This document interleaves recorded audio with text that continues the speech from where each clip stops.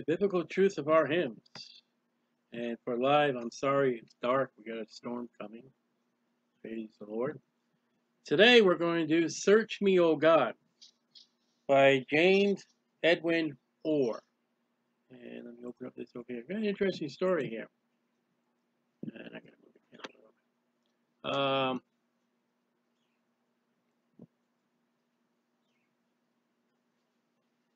I'm just looking here.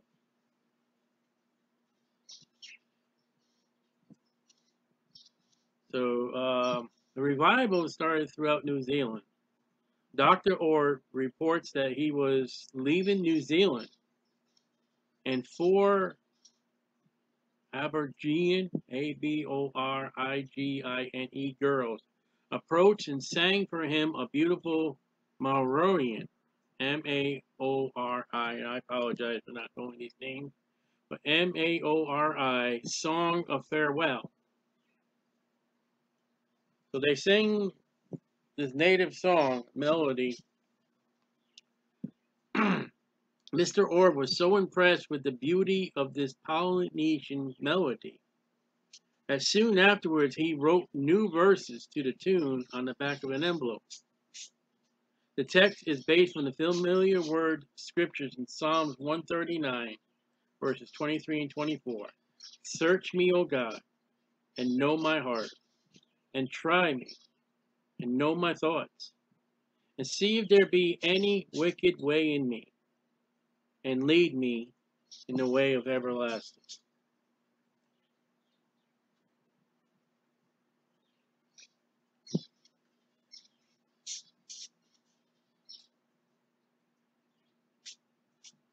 I've had to repent of sin, and I do. And this is one thing I, I, I do in my life. We all need to do. We need to get alone off with God and we need to ask God the who, what, where, why questions. We need to ask God, am what I am doing pleasing you? Am I who I am for you? Am I where I am right now pleasing you? The why I am, is that according to what you want me, Lord? Who I am, what I am, where I am, why I am. And if there's a when, it's something I do. When uh, mostly, you know, if I can't sleep in the middle of the night, I had it last night.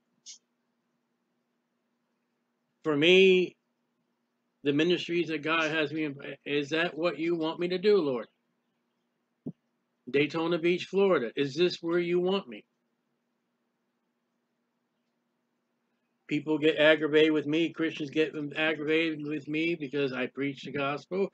I have convictions that others don't have. I, I, believe things are worldly and should not be done. Lord, is that what you want me to do? They don't like it. They are not so. But Lord, who would you have me to be? And the hymn starts off Many people won't do that because they're afraid that God will show them. Listen, when I say, Lord, what sins are, are between you and me right now that's breaking our fellowship? God, I'm not going to say, but God will bring out three sins, and one particularly right off the bat. I even finished guide off my tongue. Uh, yep, Lord, I know. And I try to work on that, and sometimes I don't try to work on it. And there are other sins, which today I confess.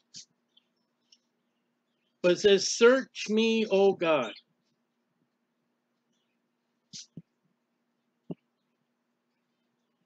Some are afraid because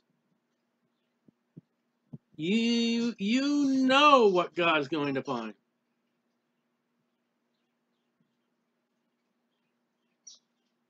And some of it you may love or like or want to attach yourself or have attached yourself to God. I mean, to yourself with your sins. You know that God is going to say no or God's going to say yes to your opposition. Search me, O God, is, is a wonderful, great statement that is found in the Bible. Lord, the good and the bad of my life, search me. What is the verse? I'm going to misquote it. I, I forgive me, Lord. But thy word is a lamp unto my feet and a light unto my path. With that light, search me, Lord. Uh, John chapter 3 says that those that are, are in darkness, those that rebel against Jesus Christ, they want to stay in the light. They don't want that light to magnify who they are. And know my heart today. Not your brain, not your pocketbook. What is your heart? Now, our heart, eh, according to Jeremiah, is just desperately wicked and evil. And Jesus said, out of the heart comes murder and adultery and sinful thoughts and sinful ways and sin. And we say, well, uh, in a cuss, where did that come from? That came from your heart.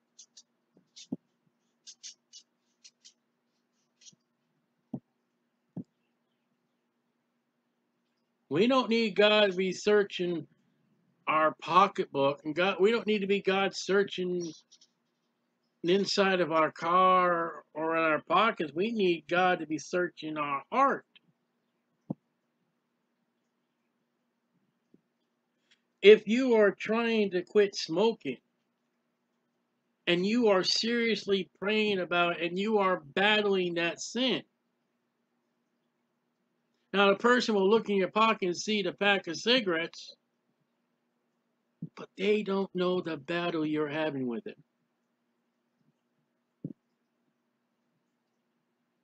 You can look at a congregation of people in the church and they look all happy and wonderful, but their heart, what, what's their heart doing at the moment things are going on?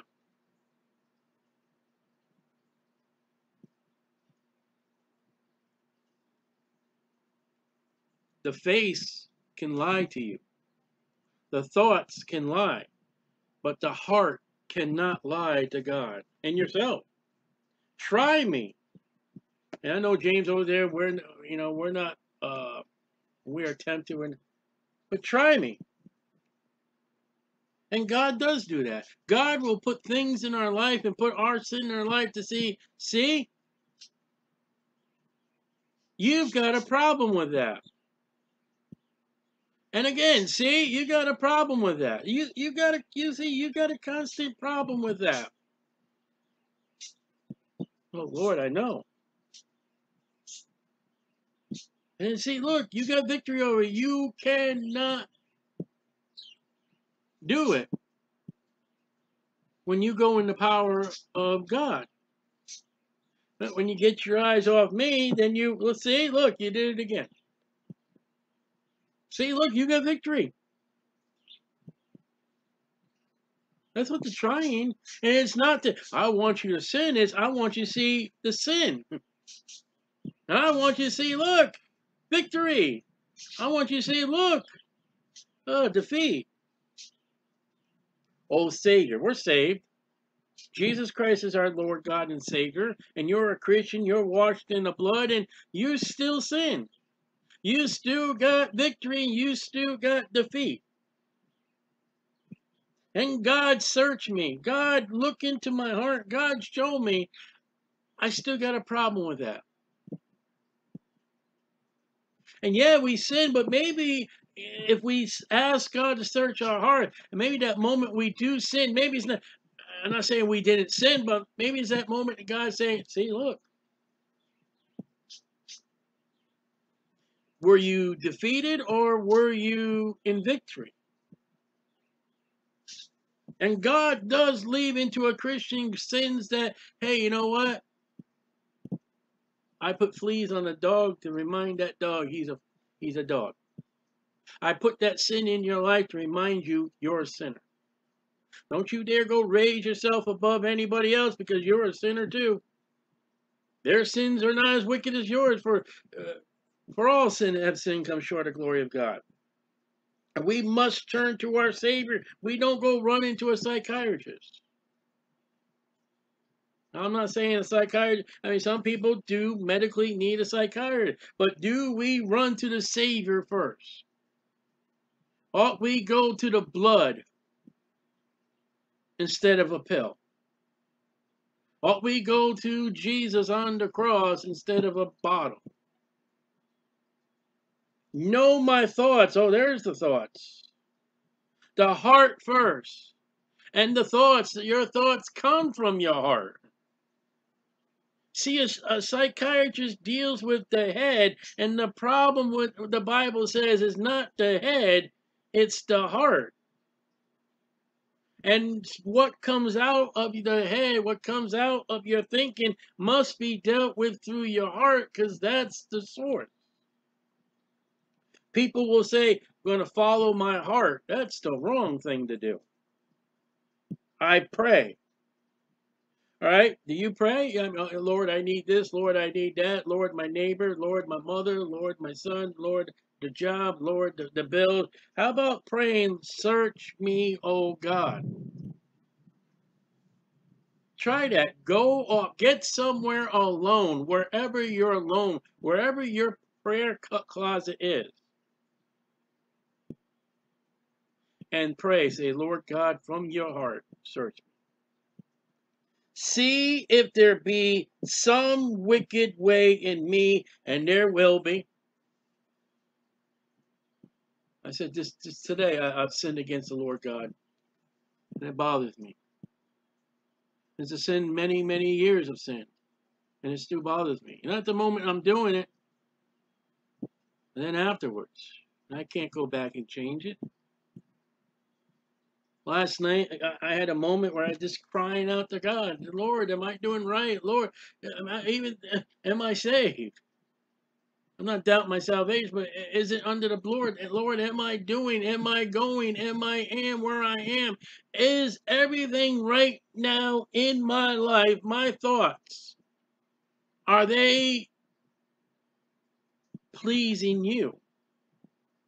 Don't worry, he'll find some wicked in you. Last night, I mean, except for one of my sins, I'm not going to tell you what it is. Uh, Lord, I felt relaxed. I felt, as much as I was crying out, I felt things were right.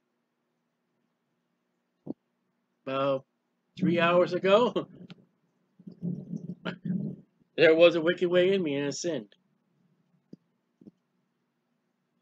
But many will not cry out to God, Search me, O God, because they know there is wickedness in them, and there may be a possibility that you enjoy that wickedness.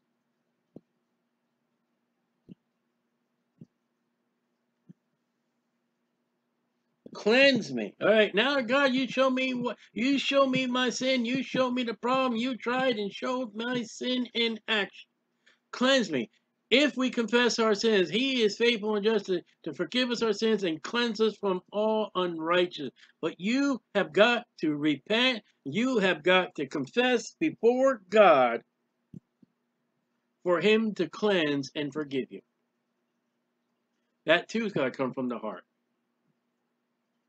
That too's got to come from a broken, contrite heart. Lord God, I've done it again oh Lord God, I didn't. It, as you go on and grow in your Christian life, and you stay in your Bible and you study your Bible, you're going to realize things you were doing.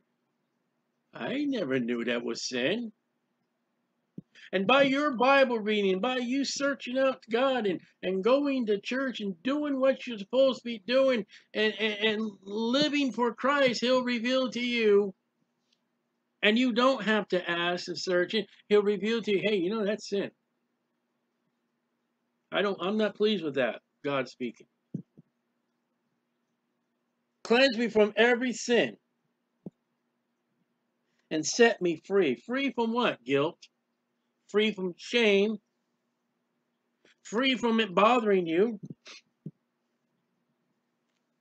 And that sin may keep coming back in your life. Done this sin over and over. It's it over and over has been under the blood. Today I, I put it under the blood. I hope there's not another time, but probably. I praise thee, Lord. Who gets the honor and the glory? Man or God? For cleansing my sin, me from my sin. All right, when it comes from cleansing your sin, there's only one that can wash you of your sin, and it's not man, it's the man Christ Jesus. There is no sinful man, and all have sinned and come short of the glory of God, and man or woman in any ministry, any religion that can absolve you of your sin when they themselves are sinners. And when it comes to cleansings of sin, it's only by the blood of Jesus Christ. By you confessing your sin. Listen, if you don't confess your sins, you don't repent of your sin, they're not going to be cleansed.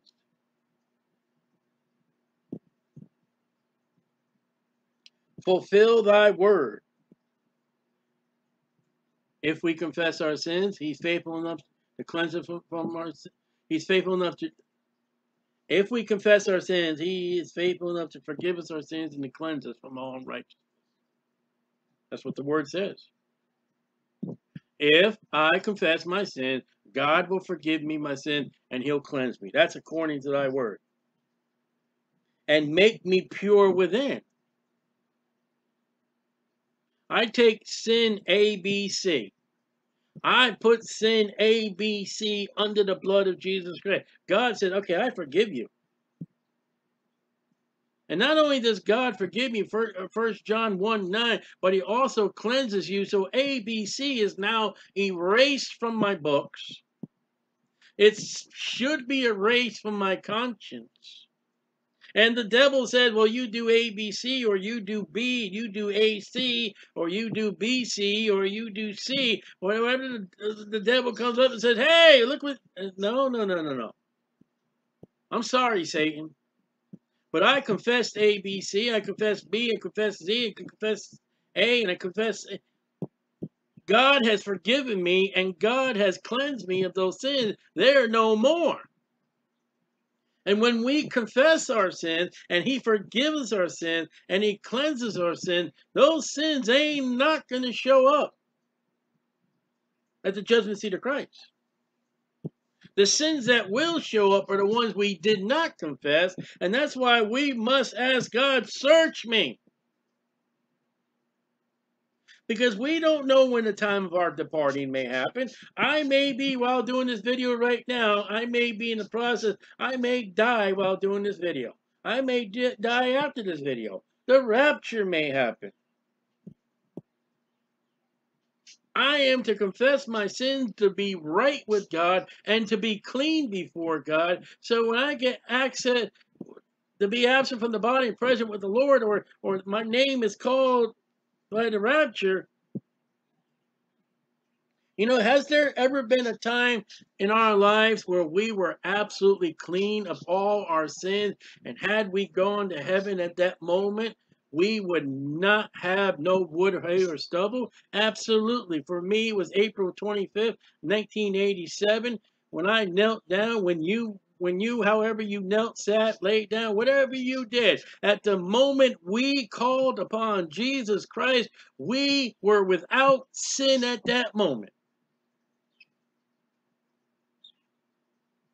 Then later on, Saturday afternoon, I got up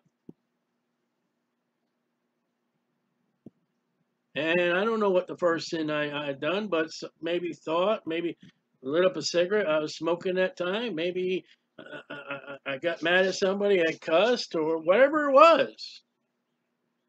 But April 25th for me, 1987, in the afternoon, I don't know what time it was, there was a moment that I confessed my sins and I came to Jesus and I was washed. Can we get that back? I, if we go to God right now and say, God, search me. God, show me all my sins. And God shows me all the sins that are not recorded. All the sins, I mean, all the sins that are recorded. All the sins I have not confessed. All the sins He has not forgiven me. All the sins He has not cleansed me. And I repent of those sins by God searching me. If I were to be absent from the body and present with the Lord, if the rapture would have happened, there would be no wood, hair, or stubble as far as my sins because I asked God to search me. I confessed. He forgave me.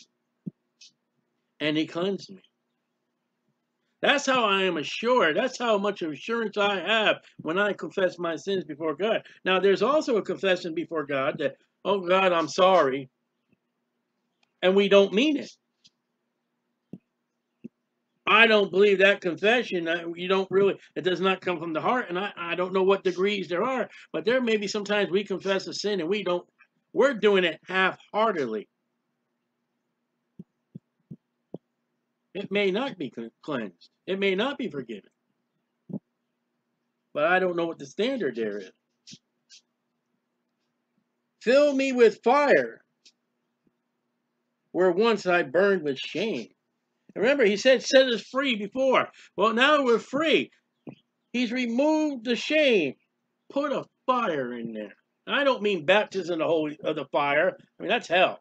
I'm talking about put a fire. All right, now we got rid of sin. Let's instead of sinning, let's go tell someone about Jesus. Instead of sinning, let me read three more chapters. Instead of sinning, let me let me sing to the Lord a hymn. Instead of oh, here we go. I don't know if you heard that instead of, of, of sinning, instead of having that, that shame of that sin, let me something for the Lord. Grant me desire to magnify thy name. There is no other name given among men whereby you must be saved. That name is the name of Jesus Christ. Lift up Jesus. When I street preach Saturday morning, it's Jesus, Jesus, Jesus, Jesus, Jesus. Not my name. I heard a street preacher the other day. Uh, my name. They don't, it's not about your name. Shut up. Lift up the name of Jesus. Lord, take my life. Oh, you know, not only you're asking God to search, search you, find out what's wrong with you. You know, you got a car. You bring to the auto mechanic. Say, sir, you know, I hear something, or there's a rattling, or something's not right. And that mechanic will take all his tools and everything he mechanicizes to look at that car and find out what's wrong with that car. That's what we're asking God to do. God, here I am. I'm a 1968 uh, model. Lord, put me into the garage, put me up on that lift, and check me out. Do I need oil? Do I need this? Do I need this? Lord, look me up. Now, Lord, take my life, and that doesn't mean death. I've done this many times. I've done this the other night church. Lord, if you want me, Isaiah, it said, who shall go for us? Isaiah's like, take me. I'll go. I'll go for you. It's where you're where you're telling the Lord, search me, find find something wrong with me. Find out if I'm good. I mean, and now, not only that, Lord, I want you to use me.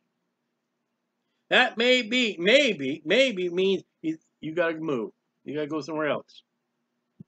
You got to get a new circle of friends. You may have to get a new job. You can't do that no more. You're going to do this now. You got to change your whole time, what you do with your time. And make it, my life, wholly thine. We can't give God half of me. Some people think, well, God, I give you Sunday morning. Is that is that enough?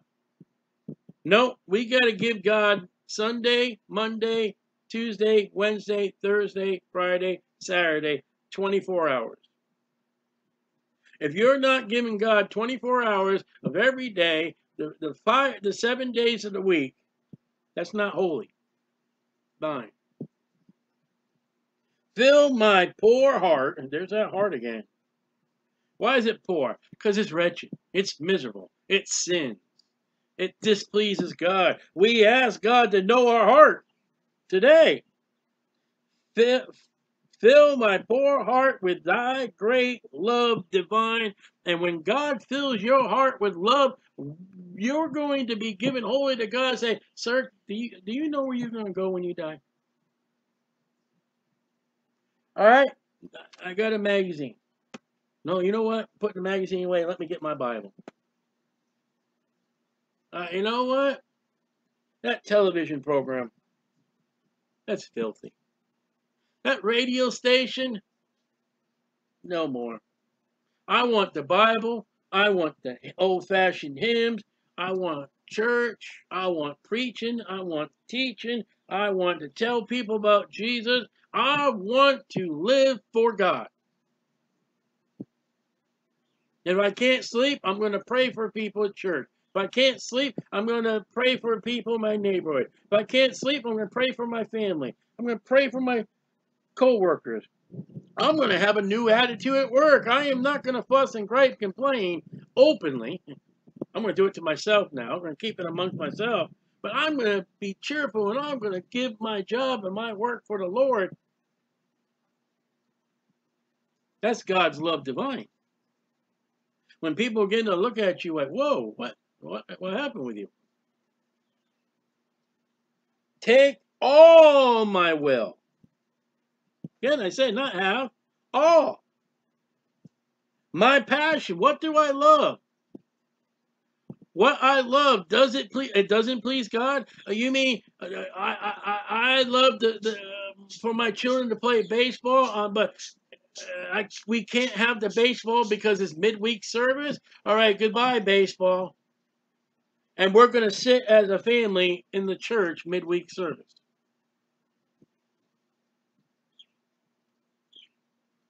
I'm going to give up my bowling fees or my expensive coffee, and I'm going to give that money to uh, a missionary with tithing to the church. And the Bible says, as far as tithing, I'm going to give money to the church happily. I'm going to be excited about giving money to God. And you know what? There are going to be times I'm going to give money. I'm not 10%, 20, 30%. I don't know. I'm just going to take what's in my wallet and, and there you go. That's all the will and my passion.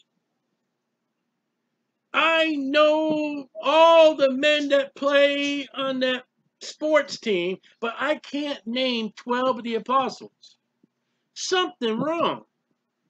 I can name all the, the actors and actresses in that movie or television program, but I don't know the 12 tribes of Israel. My passion is wrong. So, it's not about me, and that will be the biggest battle you will ever have within yourself. Because yourself is going to come out. Myself comes out all the time.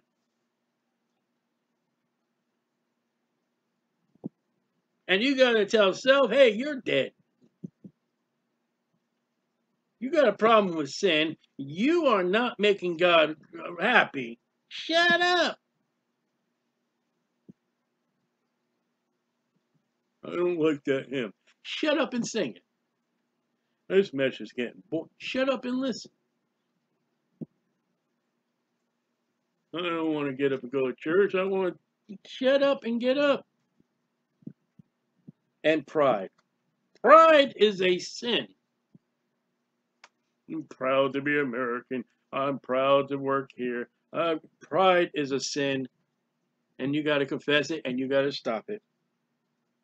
I now surrender. I'm giving, Lord, I give up. Here's the white flag. I'm done. I am done with my passion. I am done with my will. I am done with self. I am done with pride. I want to live for you. And Lord, I got to frequently say, Search me because I'm still a sinner. And Lord, though I give you my all today, tomorrow my all may not. Sorry, don't want to do that. And you're going to be in a constant battle once you say, Lord, I give you my all. Because your all is going to be, uh-uh, not today. And what's he start off? Search me, oh God, know my heart today. Paul said that I would do, I don't. That which I don't do, I do. Paul had that struggle. Uh, now, now I surrender, Lord. In me abide. Now we already get the Holy Spirit when we're saved, when we're adopted. But you know what we're telling that Holy Spirit that indwells with us? You're in charge. You've been in there the whole time. I've been living for self. I've been taking care of self. Uh, Holy Spirit, do a work. Make me grow. Make me pleasing. Make me a vessel of honor. And when I do sin as I have sinned, Lord, Holy Spirit, Father, Jesus, Savior, bleed my heart because I've sinned against you. And help me. Oh, Holy Spirit, don't forget about the Holy Spirit. We, you know, we Baptists, we forget about the Holy Spirit.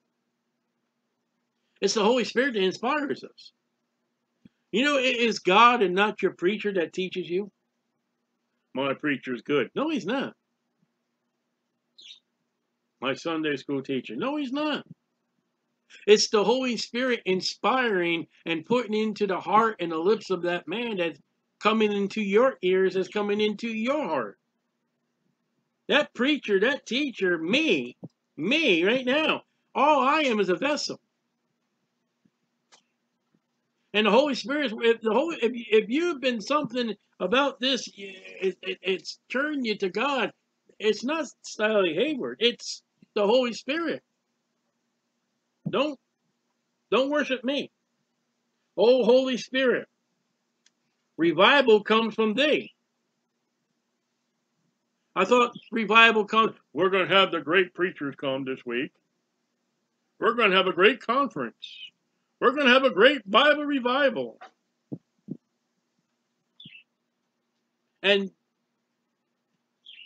many don't pray. Well, we're going to, and many don't have to pray. They don't full heartedly pray. I remember I was in the church, and there'd be things in the church, which nothing wrong. The church would fast together. We're going to fast uh, Wednesday, Thursday, and Friday for revival. Friday afternoon, we're all going to meet at this restaurant. We're going to have a meal. Uh, I thought you said Friday. You only gave Friday half a day. Have the meal on Saturday. Do you talk to the Holy Spirit? He is the member of the Trinity. He is God too, you know. I know he's not to be exalted, but Jesus said that the, the Comforter will, will reveal into us and bring to remembrance the life of Jesus. Holy Spirit, remind me today of Jesus. Speak to me about Jesus. And the revival comes from the Holy Spirit. Send a revival. Send it. Call in the preachers. Call in. Start the work in me.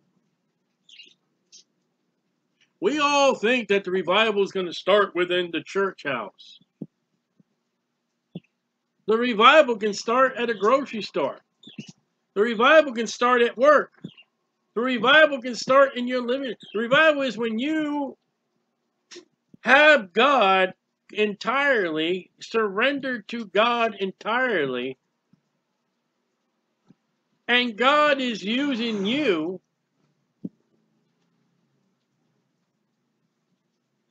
to work in someone's life. God is revi- revivaling in me to you of all the things if any of these videos or any of the street preaching, or any of the gospel track, or anybody gets saved, or anybody uh, I deal with want to get right and do right, that's a revival. But you see, the church houses, the revival is everybody gets right. Everybody's bringing money. Everybody's coming to the altar. Everybody. And then next week, after the revival's over, you have less attendance Sunday morning than you had attendance two weeks ago. Everybody was weeping and boo-hooing at the altar. We had a great revival. 23 people were saved. 14 people rededicated their life. And people cried and families came up. We all bowed down. We all prayed together. And then next Sunday morning, the crickets come to church and nobody does. Friend, that wasn't a revival.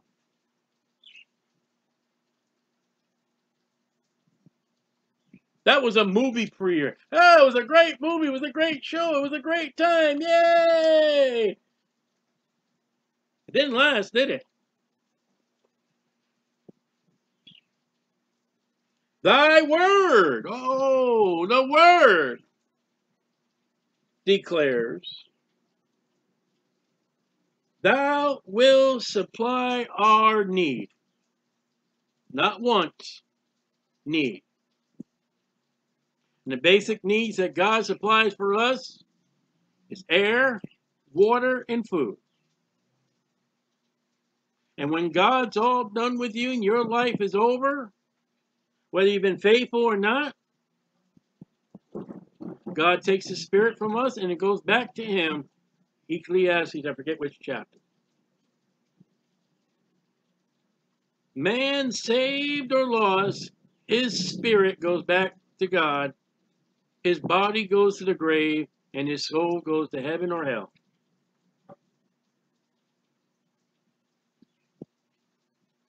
For blessings, make you happy. That's what blessings mean. For blessings now. God may give you things to make you happy. Praise him for it. I have a need. It's a want. And it would deeply, greatly satisfy and make me happy. And Lord, provide a wife. O Lord, I humbly plead. I put myself down. I come to you as a sinner that I am. I am deeply touched by my sins that I have offended you. You know, today we got a big thing. You offended me. I, I, I'm offended. But we're not offended against God. We don't realize that we offended a holy, righteous God And before that holy righteous God, we don't say, Search me, O God. Because we're afraid what God will find. And we were afraid that once God finds it, uh, we're afraid that God may say, That's got to go. Look at uh, look at Abraham with Ishmael.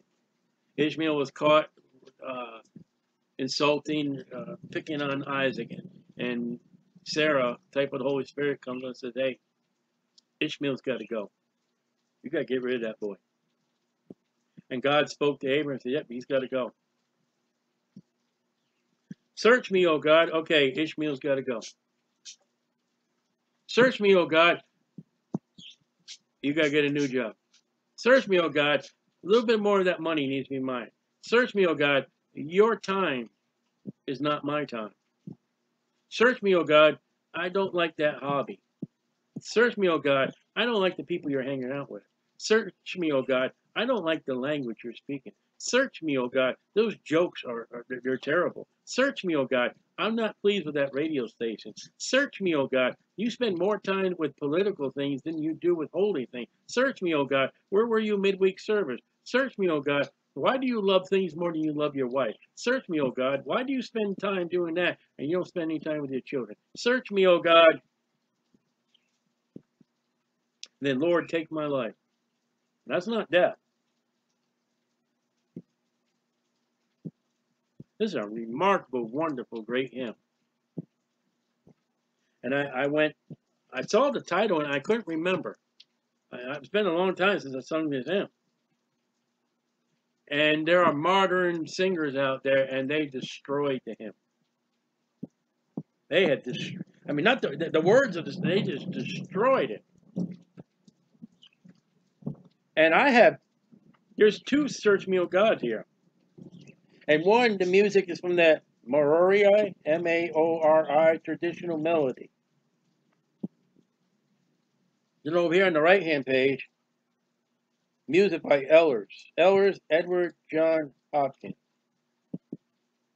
I bet you that don't sound like this. Let's stick with the original.